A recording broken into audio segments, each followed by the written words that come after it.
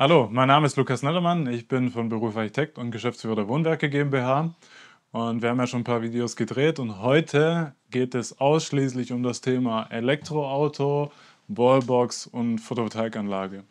Wir haben die Möglichkeit, heute hier in unserem ähm, Musterhaus zu stehen, das aber bewohnt ist. Wir haben jetzt seit mittlerweile knapp fünf Jahre. Das Haus ist auch euch bekannt. Da gibt es schon einige Videos drüber, ein Image-Video, wo es nur um das Haus und die Architektur geht und Innenraumaufnahmen ganz schöne gibt. Dann gibt es etliche Videos von mir, wo ich über die Technik mit Wärmepumpe und Strom und Batterie und so weiter berichte. Ähm, also wenn euch das interessiert, wir machen die, äh, die Links zu den Videos unten in die, in die, in die Kommentarzeile rein. Dann könnt ihr euch das gerne angucken. Heute will ich, will ich euch zeigen, wie viel Strom wird denn an einem guten Tag erzeugt, was, welche Funktion hat die Wallbox, welche Möglichkeiten gibt es und wie weit kann ich denn damit am Ende vom Tag fahren. Wir haben hier unseren Renault Megane mitgebracht, das ist einer unserer Büro Büroautos. Ich habe vorhin schon mal reingeguckt.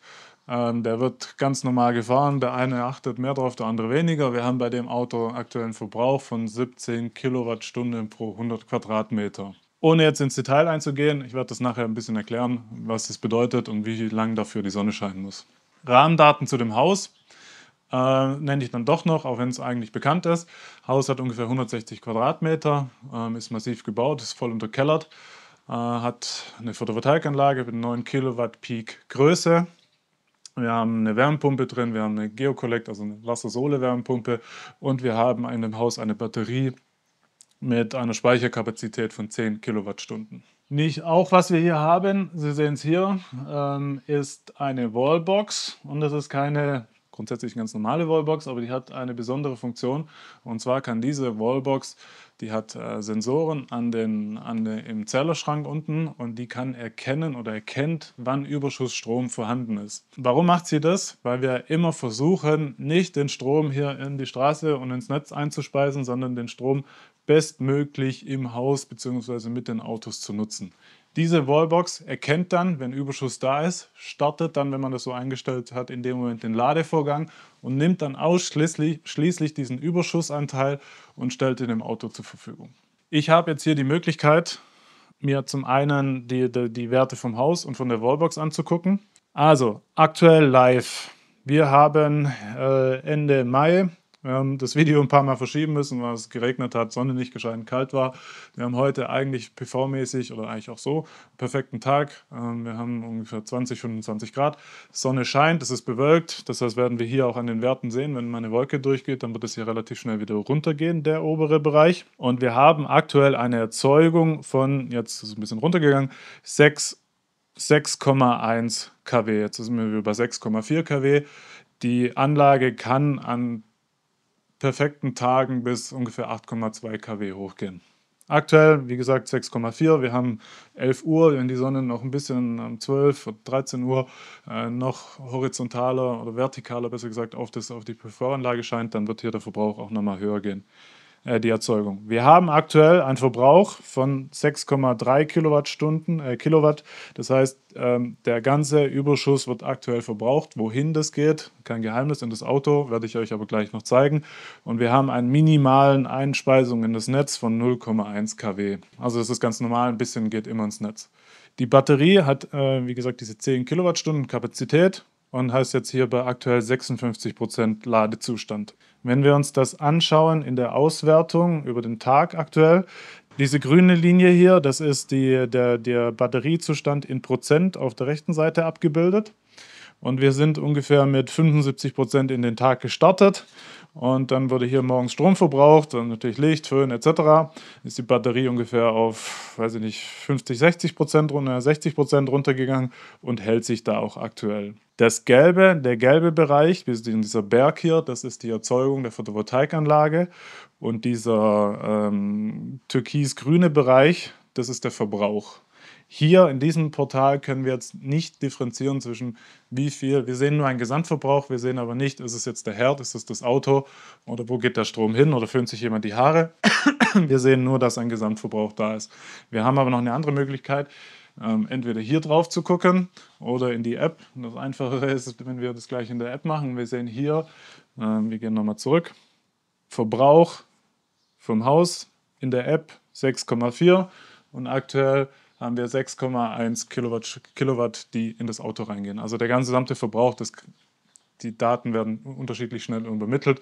Plus, minus ist das das gleiche, das gesamte Verbrauch, äh, die Erzeugung wird aber gerade in das Auto eingespeist. Das Auto, ehrlicherweise, weiß ich es nicht auswendig, hat glaube ich 60, 50, 60 äh, Kilowattstunden Speicherkapazität und kann damit ja, so um die 300, 300, 400 Kilometer ungefähr fahren, je nach Verbrauch und Gasfuß.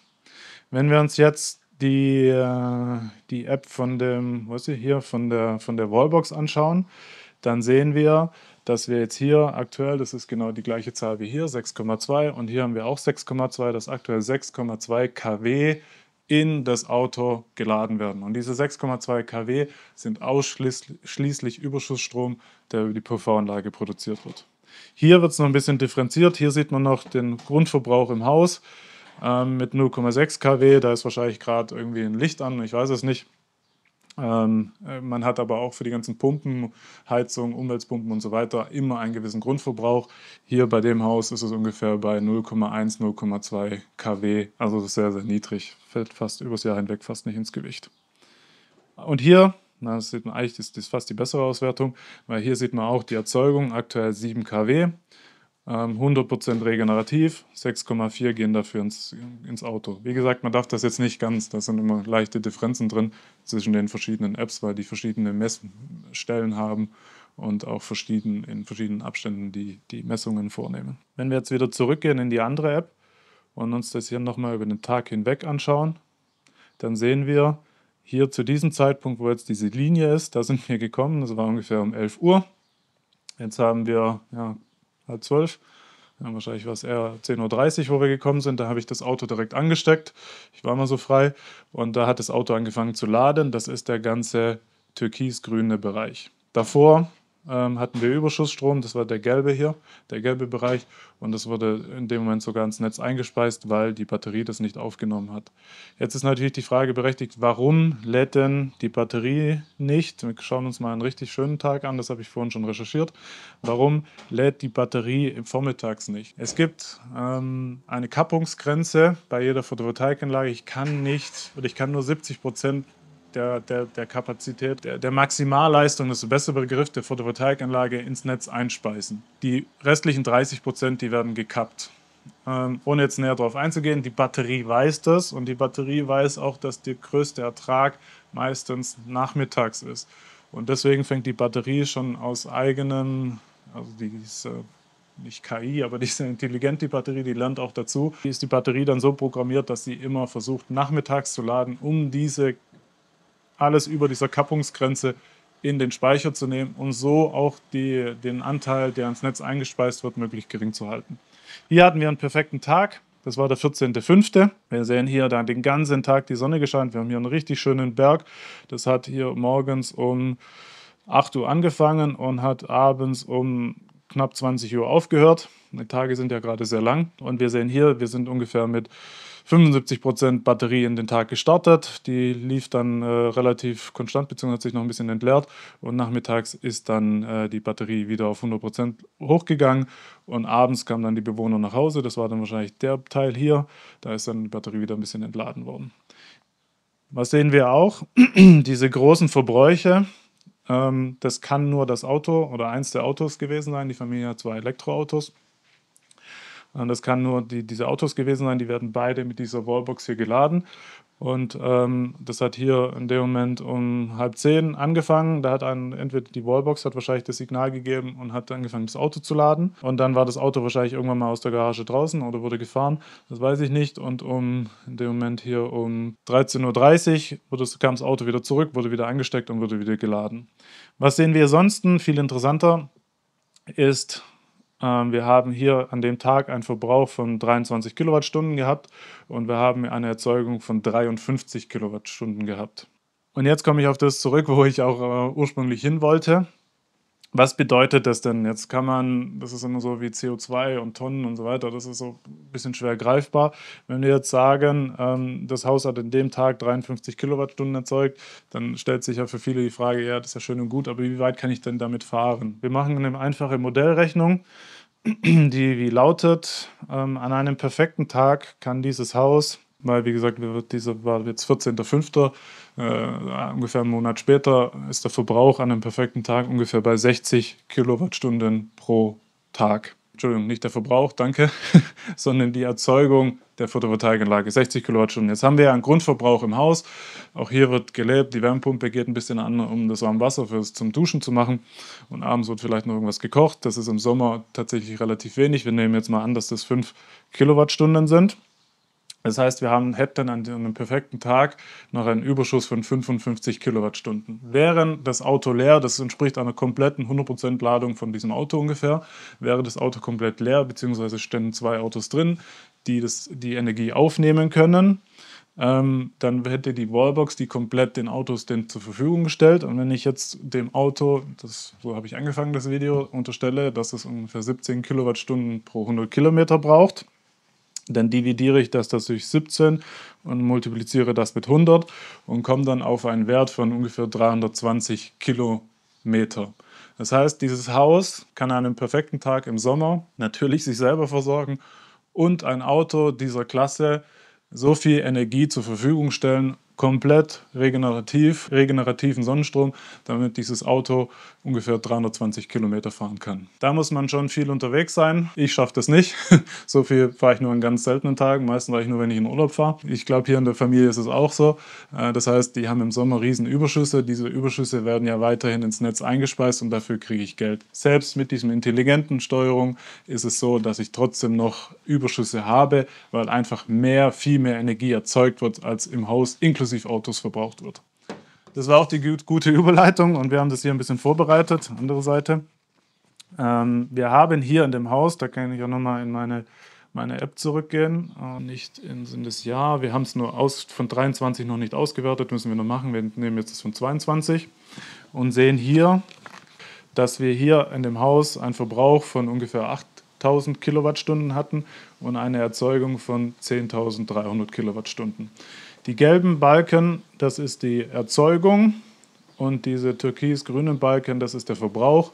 Und das ist ja auch das Problem, was wir hier haben in unseren Breitengraden, dass wir in dem Moment, wo wir wenig verbrauchen, viel Energie erzeugen. Das können wir nicht lösen, das ist wie es ist, beziehungsweise wir können es schon lösen. Wir haben ja auch so eine Power-to-Gas und Wasserstofftechnik entwickelt, da haben wir auch schon Videos drüber gemacht.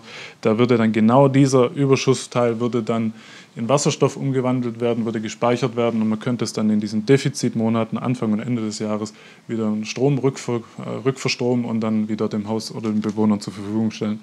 Das haben wir hier aber nicht. Das heißt, wir haben Überschüsse, äh, Verbrauch 8000 und Erzeugung 10.300 Kilowattstunden. Und wenn wir uns das anschauen, dann ist es so, dass der Allgemeinstromverbrauch in dem Haus lag ungefähr 2022 bei 2450 Kilowattstunden. Die Wärmepumpe hat ungefähr 3250 Kilowattstunden, also Heizung und Warmwasser, Energie verbraucht.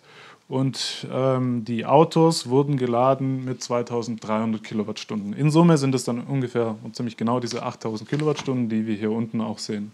2300 Kilowattstunden bedeutet, gleiche Rechnung wie vorhin, ich habe es aber schon gemacht, das machen wir jetzt nicht nochmal, bedeutet, dass die Familie äh, mit dem Überschuss oder mit dem, nee, nicht dem Überschuss, dass diese Familie übers Jahr hinweg hier geladen hat im Haus ähm, 2300 Kilowattstunden und konnte damit 13.500 Kilometer fahren.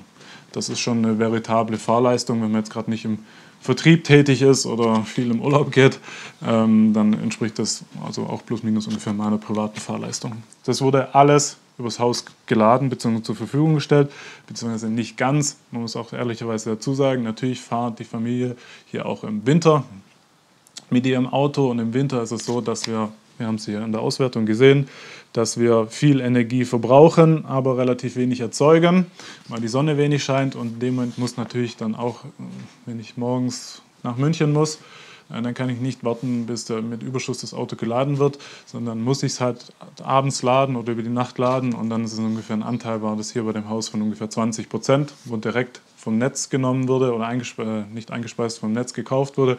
Aber 80 Prozent ist es so, dass die Autos hier rein mit hundertprozentigem regenerativen Sonnenstrom ähm, von der eigenen Photovoltaikanlage geladen werden.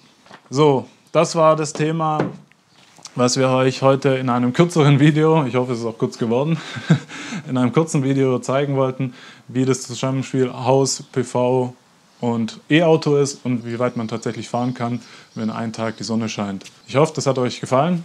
Wenn ihr Fragen oder Anregungen zu dem Thema habt, dann dürft ihr uns das gerne ähm, schreiben. Am besten unten in die, in die Kommentarfunktion. Die Michaela und ich beantworten das gerne. Wenn euch das Video gefallen hat, dann freuen wir uns natürlich auch über ein Like. Und äh, ich hoffe, ich konnte euch das Thema ein bisschen näher bringen. Bis zum nächsten Mal. Ciao.